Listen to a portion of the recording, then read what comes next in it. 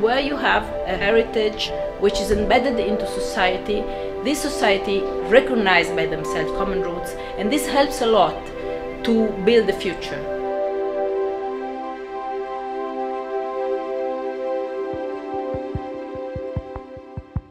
The project that we're working on is all about the Lake Ohrid region.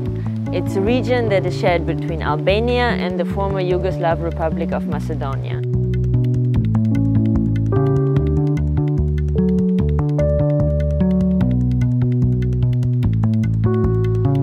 This is a joint European Union UNESCO project.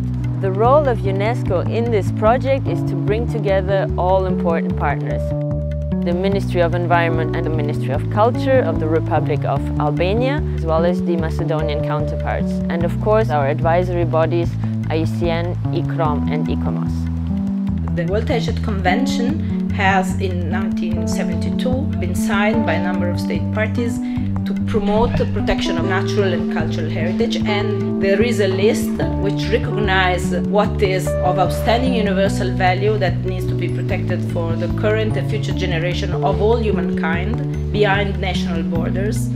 We have a very high diversity of nature, landscape, ecosystem and for Albanian Ministry of Environment, protection of the nature is very important objective. We are working together to best identify all those characteristics which make Lake Ohrid unique and which qualify it for UNESCO World Heritage Sites list. The natural and cultural heritage of the Ohrid region has been enlisted in the World Heritage List, but it currently covers only the Macedonian part of the region. There are many reasons why this protection status should be extended to the Albanian side.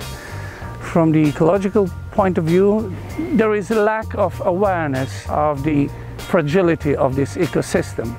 And often people lack understanding of the long-term effects of development along the lakeshore.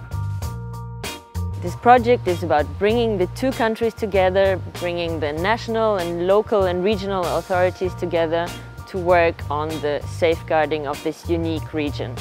Together with our Macedonian partners, we are establishing the same methodology for the monitoring of the water quality. We now think for the lake as one whole. What we have tried to figure out is how this Ohrid Lake has impacted the social life of people of the community around it. What are the social values, what are the social rituals, stories around Ohrid Lake. Heritage could be something that is treasured by the community by itself because they feel this is very important, or could be understood as a resource, as something that if it is protected can help and assist to development. Заштитата на културното наследство, како и заштитата на природното наследство, а секако е една од основите за одржливиот развој, за економскиот развој, за развојот на било кој сектор во општеството. At the end of the project, the Lake Ohrid region, it might become the first transboundary mixed natural and cultural World Heritage property of Southeastern Europe.